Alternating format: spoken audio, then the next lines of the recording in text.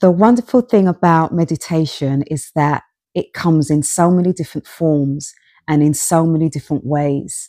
Now, I've been using a meditation technique where you use your own sound and your own vibration to be able to do this technique.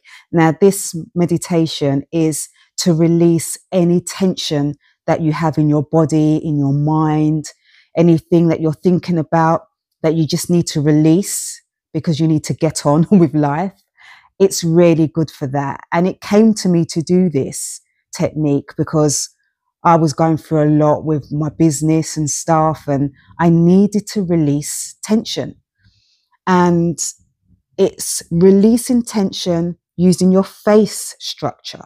So you're using your face, your sound, and your vibration to release the energy through your face and through your face structure. Now, this ain't for everyone because using your face structure means you know sometimes you might have to screw up your face to get the the energy out depending on what energy you're getting out. However it works and you feel fantastic afterwards. You can get on with your day get on with your le- week get on with your life. It works.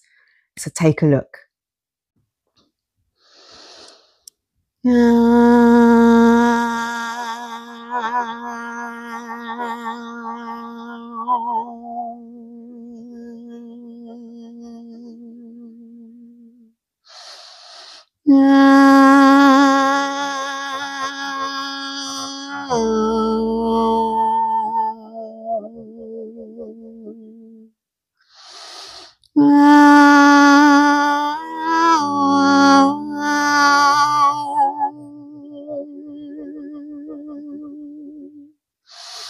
Ah.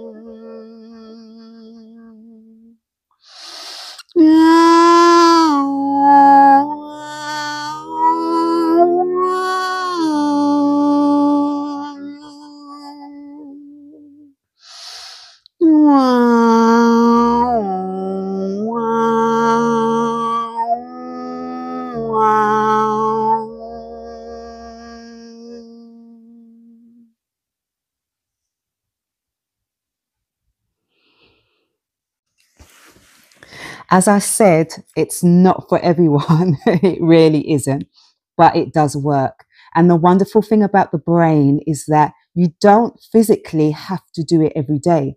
You can listen to the recording because as we know, our brain doesn't really know if we're physically doing it or not. It just knows it's hearing these vibrations and these sounds and vibrations and the energy of it going into the body is releasing toxins, releasing stress, releasing negative thinking, anything. It could be anything. You're just releasing it out, releasing it out. And it does work. It's helped me. So I'm just sharing something and give it a go. See if it works for you.